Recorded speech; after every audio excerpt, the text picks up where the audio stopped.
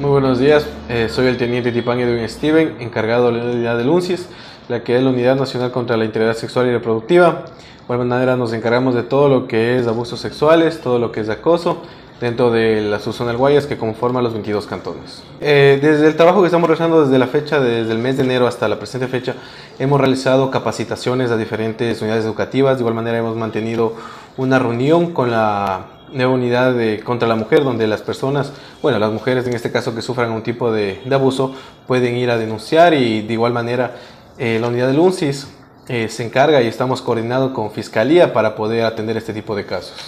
Eh, nosotros nos compete dentro de la subzona del Guayas los 22 cantones.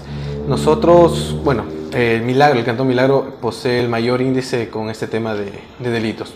Y a su vez, de igual manera, como tienen conocimiento, estamos capacitándolos para prevenir cualquier tipo de situación o abuso que estén sufriendo niñas, mujeres o adolescentes. Yo diría que un 50% de los, dentro de los 22 cantones que conforman su zona en ¿La ciudadanía denuncia tal vez este hecho o se mantiene a veces en la impunidad?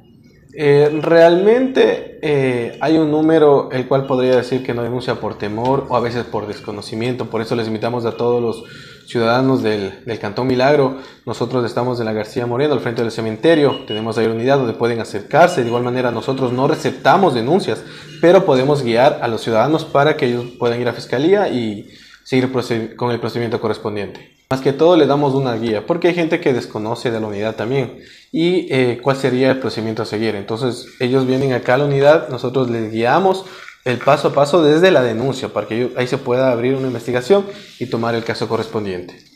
Eh, podría decirle por temor, otra cosa por medios de recursos, porque a veces tienen que viajar, vienen de cantones, del empalme, de playas, entonces también podría ser un recurso económico también esa situación y el desconocimiento también y el miedo eh, de poder, poder, tener algún tipo de represalia. La víctima, de igual manera, eh, familiares o personas que tengan conocimiento donde se esté dando un tipo de abuso a, alguna persona.